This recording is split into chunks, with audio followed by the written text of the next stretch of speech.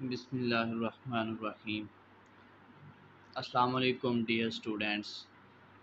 Welcome to my YouTube channel method I am Ali Raza M S C mathematics from university of Punjab Lahore उम्मीद है कि आप सब लोग खैरियत से होंगे। जैसा कि हमने बहुत ही इम्पोर्टेंट टॉपिक स्टार्ट किया हुआ है एनालिटिकल रीजनिंग एनालिटिकल रीजनिंग मैंने पहले भी बताया था कि ये बहुत ही इम्पोर्टेंट टॉपिक है एन टेस्ट में नेट के गेट में एंट्री टेस्ट में और उसके अलावा कुछ यूनिवर्सिटीज़ के अंदर जो एम का टेस्ट होता है, उसके अंदर भी एनालिटिकल रीजनिंग के क्वेश्चंस इंक्लूड होते हैं। और सबसे इम्पोर्टेंट बात यह है कि यूनिवर्सिटी ऑफ़ पंजाब लाहौर के अंदर जो एम फिल का एडमिशन टेस्ट होता है, उसके अंदर एनालिटिकल रीजनिंग के 15 मार्क्स के क्वेश्चंस आते हैं। तो आप लोगों ने ये लेक्चर्स बड़े ध्यान से और गौर से समझने हैं, ताकि आप लोग अगर किसी भी टेस्ट की तैयारी कर रहे हैं तो आप उसके अंदर जो एनालिटिकल रीजनिंग का पोर्शन हो, उसको अच्छे से सॉल्व कर सकें। तो हमने प्रीवियस लेक्चर में प्रॉब्लम सॉल्व किया था। उम्मीद है कि सबको अच्छे से समझ आ गई होगी। तो अब हम अपने नेक्स्ट लेक्चर की तरफ़ चलते हैं सॉरी नेक्स्ट सवाल की तरफ़ चलते हैं कि आज का हमारा जो सवाल है, वो ये है कि nine individuals Ahmad Bilal Danish Faisal Haroon Liaquat Maryam Shiza and Zeeshan are to serve on the three committees labelled A B and C हमारा सवाल ये है कि हमारे पास नौ बंदे हैं कि जिन्होंने कमेटियों में हिस्सा लिया हुआ है। यानी कि कोई तीन कमेटियाँ हैं ए बी और सी कि ये तीन कमेटियों के नाम हैं। और हमने क्या किया कि हमारे पास नौ बंदे हैं, जो नौ बंदों ने इन तीन कमेटियों में हिस्सा डाला हुआ है मीन्स की कमेटी डाली हुई है। अब इसके अंदर कुछ कंडीशंस हैं हमारी। सबसे पहले जो पहली कंडीशन है, वो ये है the each each candidate should serve on exactly one of the committees. इसमें ये है कि एक बंदा जो है हमारे पास, वो जस्ट एक ही कमेटी में हिस्सा ले सकता है। ये नहीं हो सकता कि जो फैसल है, वो कमेटी ए में भी चला जाए बी में भी सी में। नहीं। अगर फैसल कमेटी बी में है तो फिर वो कमेटी सी में नहीं जा सकता। पहली कंडीशन हमारी ये है कि हर बंदा जो है वो जस्ट एक ही कमेटी में पार्टिसिपेट करेगा। उसके बाद दूसरी कंडीशन है every committee must have at least one member कि हर कमेटी में कम से कम एक मेंबर होना लाजमी है। एक से ज़्यादा भी हो सकते हैं, लेकिन कम से कम एक ज़रूर हो। उसके बाद तीसरी कंडीशन है committee A should consist of exactly one member more than that of the committee B इसका मतलब ये है कि जो कमेटी ए है हमारे पास, वो कमेटी बी की नस्बत एक मेंबर ज़्यादा रखेगी। कि फॉर एग्ज़ाम्पल अगर कमेटी बी में चार मेंबर आते हैं तो जो कमेटी ए होगी, फिर उसमें पाँच आएँगे। यानी कि ए के अंदर बी की नस्बत एक ज़्यादा होगा। उसके बाद नेक्स्ट कंडीशन है among Maryam Shiza and Zeeshan none can serve on the committee A. कि जो हमारे पास कहता है कि मरियम, शीज़ा और जिशान है, वो कमेटी ए में हिस्सा नहीं ले सकते। उसके बाद नेक्स्ट कंडीशन है among Faisal Haroon Liaquat none can serve on the committee B कि जो हमारे पास फैसल हरून लियाकत हैं वो कमेटी बी के अंदर हिस्सा नहीं ले सकते।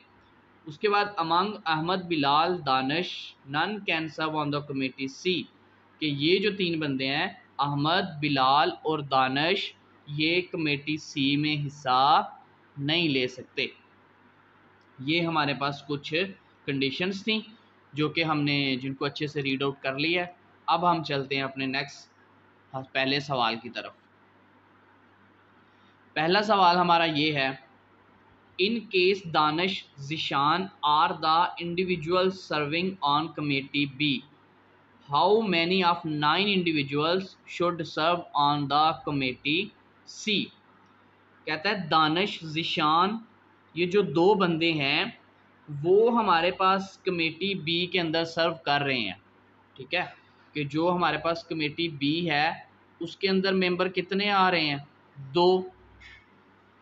तो हमने ऊपर कंडीशन ये पढ़ी थी एक, कि कमेटी बी में अगर मेंबर दो हैं तो कमेटी ए में एक बी से ज़्यादा होगा। तो इसका मतलब है कि इस स्टेटमेंट के अकॉर्डिंग अगर हमारे पास बी के अंदर दो आ रहे हैं तो इसका मतलब फिर जो ए होगा ए के अंदर कितने आएँगे? तीन आएँगे। क्यों? क्योंकि हमने कंडीशन पढ़ी थी कि ए के अंदर बी की नस्बत एक ज़्यादा आएगा। इस सवाल की स्टेटमेंट में लिखा कि दो बंदे बी में सर्व कर रहे हैं तो इसका मतलब फिर ए में तीन बंदे सर्व करेंगे। अब दो और तीन कितने हो गए? पाँच। पाँच मेंबर इन दो कमेटीज़ में चले गए ए और बी में। तो हमने ये बताना है कि सी में कितने जाएँगे। तो टोटल नौ थे। नौ में से हमने पाँच निकाल ले तो बाकी हमारे पास कितने बच गए? फोर। ठीक है? क्योंकि बी के अंदर दो है ना तो ए के अंदर बी की नस्बत एक ज़्यादा होगा तो ए के अंदर तीन चले गए। तो टोटल पाँच बंदे तो ये हो गए। जो हमें गिवन थे, वो नाइन बंदे थे। नाइन में से ये पाँच निकाले, बाकी बचे चार, फिर वो चार जो है, वो सी पे सर्व करेंगे। ये हमारा पहला सवाल है। चलें जी, अब हमारा नेक्स्ट सवाल है। वो ये है कि of the nine individuals the maximum number that can serve together on committee C ये नंबर नहीं, ये मेंबर है। सॉरी मेंबर कहता है कि maximum member that can serve together on committee C is हमने ये बताना है कि जो कमेटी सी है, उसके अंदर मैक्सिमम कितने बंदे काम कर सकते हैं? अब हमने जो पीछे कंडीशन पड़ी थी, उस कंडीशन के अकॉर्डिंग ये था कि हर कमेटी के अंदर कम से कम एक बंदा ज़रूर होगा। अब इस सवाल के अंदर उन्होंने कोई कंडीशन नहीं दी कि, कि ए के अंदर और बी के अंदर कितने बंदे लेने हैं। उन्होंने बस यही बताया कि पॉसिबल कि सी के अंदर कितने मैक्सिमम पॉसिबल हो सकते हैं। तो देखो जो हमारे पास बी था बी के अंदर अगर एटलीस्ट हम वन रखें कम से कम एक तो आपको पता है ए के अंदर बी की नस्बत एक ज़्यादा होगा तो फिर ए के अंदर दो चले जाएँगे। ठीक है? टोटल हमारे ये फिर कितने बन गए? तीन बंदे तो ये बन गए ना एक ये और दो तीन। अब जो हमें गिवन थे वो नाइन थे तो नाइन में से ये तीन निकाल दिए तो बाकी कितने बचे? छः तो इसलिए हमारा जो करेक्ट आंसर होगा, वो होगा सिक्स ऑप्शन नंबर बी क्यों? क्योंकि उसने जस्ट ये पूछा कि सी के अंदर मैक्सिमम कितने आ सकते हैं। तो सी के अंदर मैक्सिमम हमने जो करने हैं, उसमें ए और बी की कंडीशन तो है नहीं तो इसका मतलब हमने बी में कम से कम एक रखा तो फिर ए में दो जाएँगे तो बाकी बच जाएँगे सिक्स ये था हमारा सवाल नंबर दो। उसके बाद हमारे पास तीसरा सवाल है। तीसरा सवाल ये है कि in case Ahmad is only individual serving on committee B, कि जो अहमद है, वो जो है कमेटी बी के अंदर सर्व कर रहा है which among the following should serve on committee A तो हमने ये बताना है कि ये जो हमारे पास पेयर गिवन है, इनमें से कौन से दो बंदे हैं, फिर जो कमेटी ए में सर्व करेंगे। सवाल यह है कि अहमद जो है, वो कमेटी बी में सर्व कर रहा है। तो ये बताएँ कि इन में से कौन से ऐसे दो बंदे हैं जो ए में सर्व कर रहे हैं? तो जैसा कि ये हमारे पास कंडीशंस जो गिवन थी, वो ये थी कि अहमद बिलाल और दानिश सी के अंदर सर्व नहीं कर सकते। उसके बाद फैसल, हरून, लियाकत बी के अंदर सर्व नहीं कर सकते। मरियम, शिजा, जिशान ए के अंदर सर्व नहीं कर सकते। अब देखो, उसने बोला कि जो अहमद है, वो बी में चला गया। ये हमारे पास अहमद है। अब अहमद अगर हमारे पास जो है वो बी के अंदर चला जाए, ये अहमद बी के अंदर चला जाए तो फिर हमने ये बताना है कि ए के अंदर कौन कौन से आएँगे। पहला ऑप्शन हमारा क्या था? बिलाल एंड दानश। अब देखो, हमारे पास देखने से नज़र आ रहा है कि पहला आंसर ही करेक्ट आंसर है, क्योंकि ये अहमद तो हम ले गए बी में तो बाकी ये दो, जो दो बच्चे हैं, वो सी के अंदर तो रह नहीं सकते तो इसका मतलब कि ये ए के अंदर आ जाएँगे। तो बिलाल और दानश ही हमारे पास करेक्ट आंसर है। लेकिन हम बाकी ऑप्शन भी चेक करते हैं कि बाकी आंसर क्यों नहीं आ सकते। दूसरा देखो क्या बिलाल और फैसल। अब ये बिलाल और फैसल है। अगर मैं यहाँ से ये बिलाल और फैसल को लूँ, इन दोनों को लूँ, कि ये हमारे पास कहाँ चले जाते हैं? ए के अंदर। तो फिर जो हमारे पास ये दानिश है, वो रह जाएगा। दानिश तो सी के अंदर जा नहीं सकता। तो अगर हमने ये यहाँ पे ले लिए के अंदर तो फिर दानिश को कहाँ छोड़ेंगे? तो दानिश फिर रह जाएगा। उसके बाद अगर बिलाल और लियाकत की बात की जाए, ये बिलाल और ये लियाकत, इन दोनों को अगर लिया जाए तो फिर भी दानिश रह जाएगा। उसके बाद अगर फैसल और हरून को लिया जाए, दानिश फिर भी रह जाएगा, क्योंकि दानिश तो सी में सर्व ही नहीं कर सकता। तो इसलिए हमारे पास जो ऑप्शन ए है, वही करेक्ट आंसर है। क्यों? क्योंकि अहमद तो बी में चला गया, बाकी बिलाल और दानिश बचे हैं। बिलाल तो इनमें आ रहा है, लेकिन जो दानिश है, वो हम स्किप नहीं कर सकते, क्योंकि दानिश जो है, वो सी में काम कर ही नहीं सकता। इसलिए दानिश जो है, वो ए के अंदर जाएगा। तो इसलिए ये जो पहला ऑप्शन है, वो हमारे पास करेक्ट आंसर है। तो ये ऑप्शन ए हमारे पास करेक्ट आंसर होगा।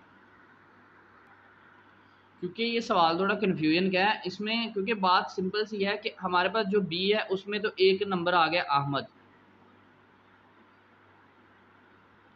अहमद हमारे पास चला गया बी में। अब आपने कंडीशन पढ़ी थी कि अगर बी में एक मेंबर आ रहा है तो ए जो है, उसके अंदर दो आएँगे। इसका मतलब है कि फिर जो ए है, उसके अंदर कोई दो मेंबर आएँगे। क्योंकि बी के अंदर अगर एक है तो फिर एक बी बी के अंदर अगर एक आ रहा है तो ए में उससे एक ज़्यादा आएगा। तो अब देखो कि हमारे पास जो बी है, वो तो बात ख़त्म हो गई।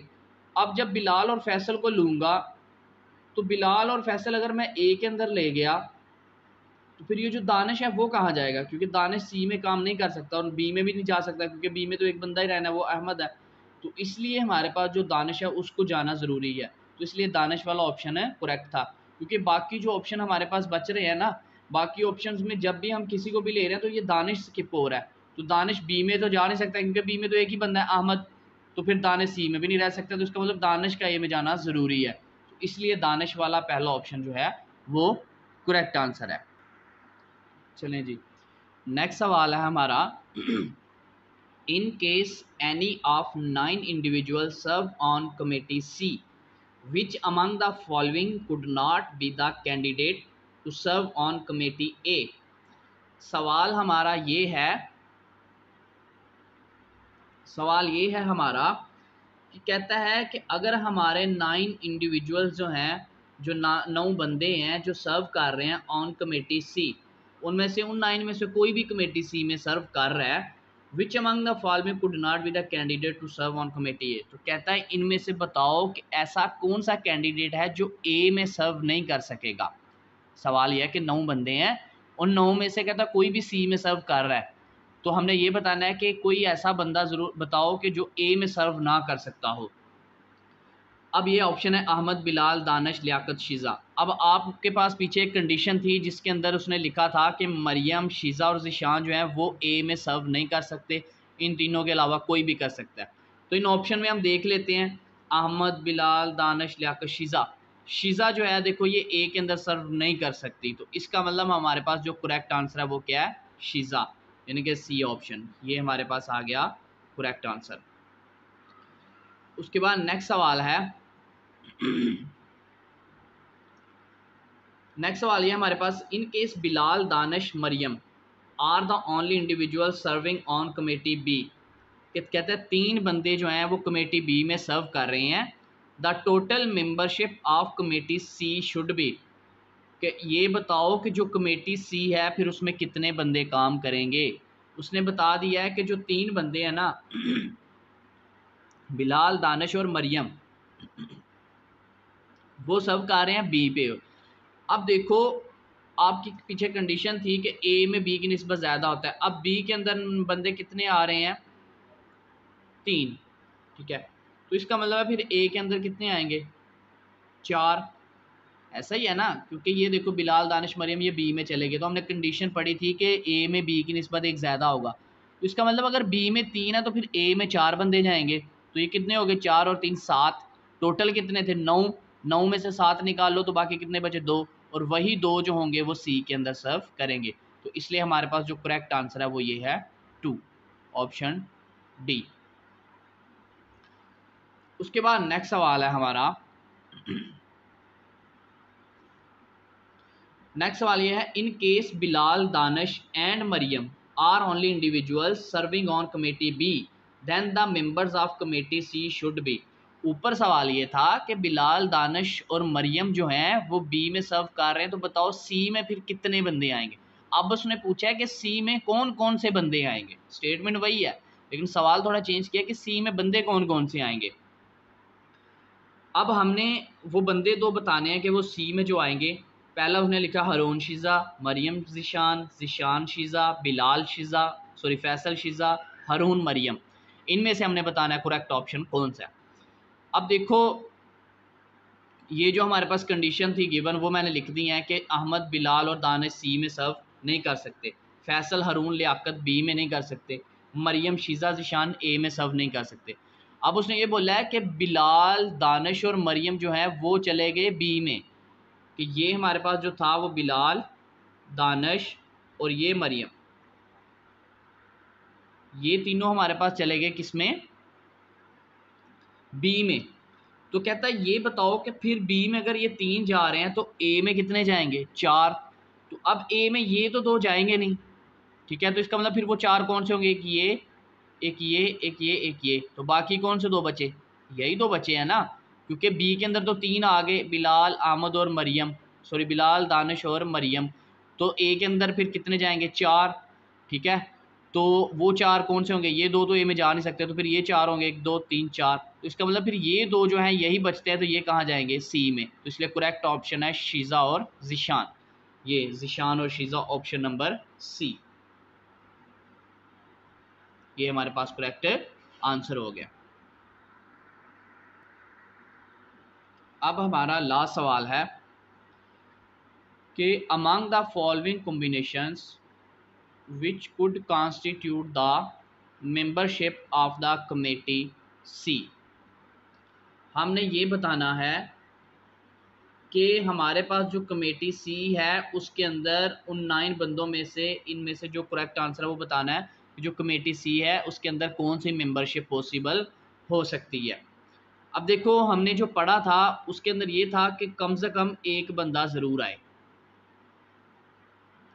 कम से कम एक बंदा होना चाहिए। तो हमने सपोज़ किया कि अगर हम बी के अंदर एक बंदा रखते हैं तो ए के अंदर फिर बी की नस्बत एक ज़्यादा आएगा मतलब ए के अंदर दो तो फिर बाकी छः जो है वो सी में जाएँगे। फिर ये है कि अगर बी के अंदर दो रखते हैं तो फिर ए में एक ज़्यादा जाएगा, यानी तीन जाएँगे तो बाकी जो बचेंगे चार वो सी में। फिर बी के अंदर अगर तीन हो जाएँ तो ए के अंदर चार तो बाकी सी के अंदर जो दो बचेंगे, वो चले जाएँगे। मतलब कि ये तीन पॉसिबिलिटीज़ हो सकती हैं हमारी अरेंजमेंट की, कि सी में या तो छः बंदे जाएँगे या चार जाएँगे या दो जाएँगे। अब हमने ऊपर वाले में से बताना है कि सी में कौन से बंदे दो जो हैं, वो जाएँगे या चार जाएँगे या छः जाएँगे। सबसे पहले तो देखा जाए तो हमारा जो सवाल की ऑप्शन है, उसके अंदर छः वाला ऑप्शन ही नहीं है। तो इसका मतलब है छः तो नहीं जाएँगे। क्योंकि उसमें छः बंदों वाली कोई भी ऑप्शन नहीं है। उसके बाद बच गया चार वाला। अब देखो जो हमारे पास ऑप्शन ई है, अहमद फैसल मरियम जिशान। ये चार बंदे हैं मतलब ये पॉसिबिलिटीज़ हो सकती है। हम इसको चेक करते हैं क्या ऑप्शन ई आ सकता है। तो ऑप्शन ई हमारे पास नहीं आएगा। क्यों? क्योंकि देखो अहमद जो है, वो हमने लिखा हुआ है कंडीशन में कि वो सी में नहीं जा सकता। इसलिए ये जो है, इसके अंदर तो अहमद आ रहा है। इसका मतलब ऑप्शन जो ई है, वो करेक्ट आंसर नहीं हो सकता। क्योंकि अहमद तो सी के अंदर जा ही नहीं सकता। इसलिए हमारे पास जो फोर वाली पॉसिबिलिटीज़ है, वो भी ख़त्म हो गई। मतलब फोर बंदे भी नहीं होंगे। फिर बचा एक के हमारे पास दो बंदे ही हो सकते हैं जो जाएँगे सी के अंदर। तो वो दो ऑप्शन हमारे पास देखो, ये तीन वाले ऑप्शन जो है, ये तो दोनों ही नहीं आएँगे, क्योंकि तीन वाले तो पॉसिबिलिटी नहीं बनती। इसलिए पहले ये सी डी और ई ऑप्शन ख़त्म हो गए। उसके बाद बचे ये ए और बी अब देखो, पहला दानिश और शिज़ा। अब हमने पढ़ा था कि ये जो दानिश है, वो भी सी के अंदर नहीं जा सकता। इसका मतलब ऑप्शन ए भी गलत हो गया। तो फैसल और मरियम ऑप्शन बी ही एक बचता है जो हमारे पास करेक्ट आंसर है। तो हमारे पास जो करेक्ट आंसर है वो फैसल और मरियम। ऑप्शन नंबर बी आ जाएगा। ये था हमारा आज का लेक्चर उम्मीद है कि आप सबको समझ आ गई होगी। अगर फिर भी किसी स्टूडेंट का कोई सवाल हो, किसी स्टेप में, किसी पॉइंट में तो वो बिना हेजिटेट किए कमेंट बॉक्स में पूछ सकता है। तो बाकी आप वीडियो को मज़ीद शेयर करें और चैनल को सब्सक्राइब करें और बेल आइकन को प्रेस कर दें ताकि मज़ीद जो भी मैं लेक्चर अपलोड करूँ, वो ईज़िली आप लोगों को मिल सके। तो इन मिलते हैं अपने नेक्स्ट लेक्चर में। तब तक के लिए खुदा हाफिज़।